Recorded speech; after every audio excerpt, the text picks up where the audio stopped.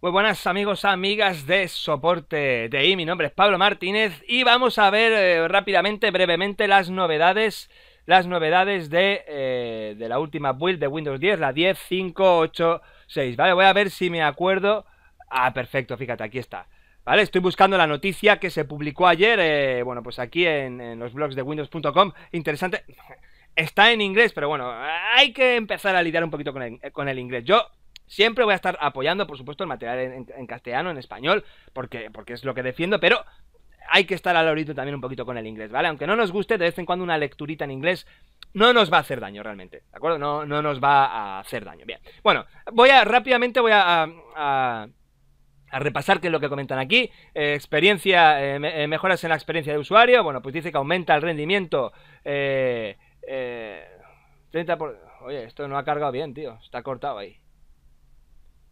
¿Qué pasa, tronco? Vale, ahora sí. vamos a poner esto así. Genial. Bien, esto dice ahora que ponga un poco más de zoom para que todos lo podamos leer mejor. ¿Vale? Performance, tal, rendimiento mejorado un 30% más rápido que tu Windows 7. Así que si no estabas actualizando a Windows 10 porque era más lento, ya tienes otro motivo para pasar a Windows 10. Eh, Cortana tal, puedes utilizar tus devices tal, tu dispositivo tal, tal, tal, Cortana Netbook, tal, Cortana ahora reconoce tu número de teléfono, dirección de email, tal, physical, ¿vale? Para, bueno, tiene mejoras para eh, hacerte recordatorios y tal, así que, bueno, pues mejoritas que tiene, ¿vale? Y además dice que Cortana ya está disponible en Japón, Australia y Canadá e India. Australia y Canadá y India. Bueno, e India, en inglés. Vale, se ve que está en la India en inglés y el resto de países, pues no sé, bueno, da igual, bueno, pues hay que ya está disponible en esos países. Microsoft Edge, tal, ofrece mejoras que no sé cuánto, tal, Enterprise, no sé cuánto.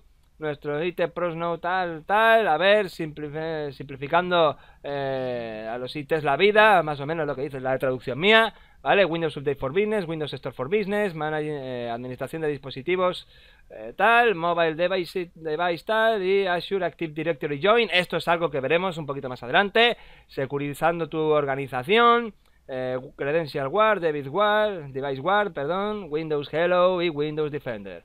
Bueno, pues aquí unas mejoritas que trae. Aquí lo podéis, lo podéis ver, ¿vale? Todavía no me acostumbro a decir device en vez de device, pero bueno, ya me acostumbraré.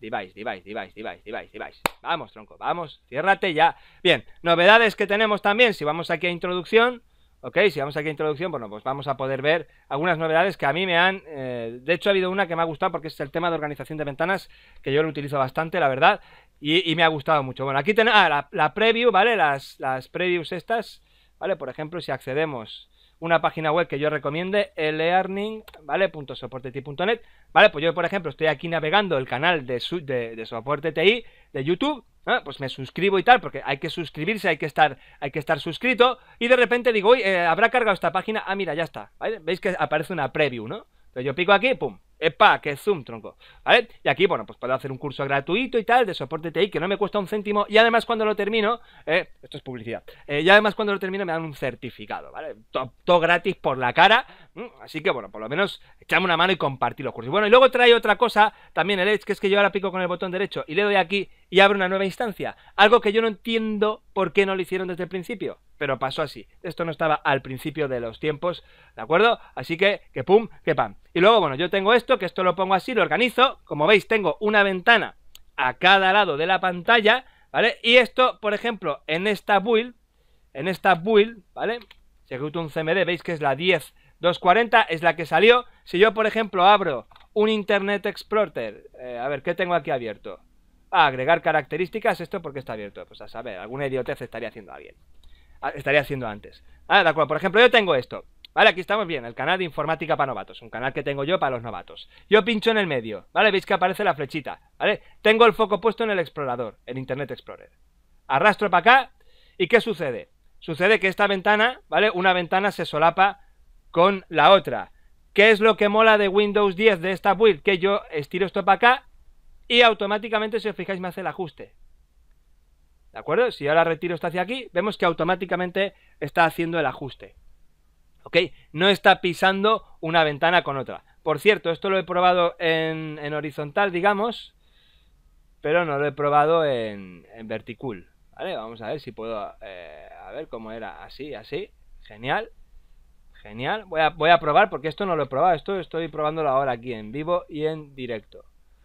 ¿Vale? Bien, esto parece que no está...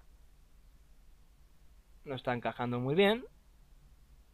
¿Vale? Bueno, pues vemos que en el ajuste vertical no lo tiene. ¿Vale? Ahora vamos entonces con otra prueba que es...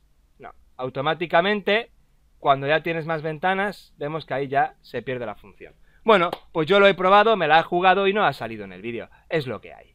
¿Vale? Esto... Vamos a ver si te acoplo aquí. Genial, ¿vale? Bueno, pues ya está. Esto, bien, estupendo. Bueno, pues ya veis, había que probarlo, había que probarlo, es un vídeo. Bueno, y nada, que con esto me despido, amigos, amigas de Soporte TI. Espero que, por cierto, si veis el alerts, ya es bastante más... Tiene un rendimiento bastante más, más aceptable. Este, este Windows que estáis viendo, por cierto, si alguien me lo va a preguntar, esta compilación es una instalación limpia. ¿De acuerdo? No es un upgrade que yo he ido haciendo desde la 240 hasta, la, hasta esta. En mi equipo sí, en mi equipo eh, de trabajo sí, porque lo tengo en, Insider, soy así, yo le digo a todo el mundo esto no lo hagas, pero ya lo hago yo, o sea, ¿vale? Y eh, sí que puedo decir que me da la sensación, me da la sensación, no habiéndolo trabajado mucho, que el rendimiento en, en esta instalación limpia es bastante mejor al rendimiento que estoy obteniendo en el upgrade constante, continuo, ¿ok? Porque bueno, la que yo tengo es una build muy antigua, es de las primeras que salió, creo que es una 9000 y pico, o no sé cuál era, y de ahí estaba actualizando, actualizando, actualizando y actualizando hasta la fecha de hoy. Entonces, si me pregunta alguien o alguien tiene la duda, oye Pablo, ¿es una instalación limpia o es sucia? Bueno, yo me lavo las manos antes de instalar Windows siempre, así que es, limpia la instalación y bueno, pues queda, eh, como vemos, tiene un rendimiento bastante, bastante interesante. Y como digo, me está dando la sensación que tiene mejor rendimiento eh, eh, la, instalación que he hecho desde cero, la build nueva, a la instalación que tiene, eh, o sea, a la instalación que tengo que se ha ido upgradeando, ¿ok? Así que bueno, os veo en otro vídeo y trataré de seguir probando algunas cosas, algunas mejoras, algunas novedades, bueno, pues en, en, cuanto pueda, ¿de acuerdo? A ver que suba este vídeo y nos vemos muy pronto detrás de la pantalla, amigos. Un saludo, un saludo y recuerda, suscríbete al canal y comparte. Venga, que hay que compartir. Hasta luego, amigos de Soporte TI. Nos vemos. Chao.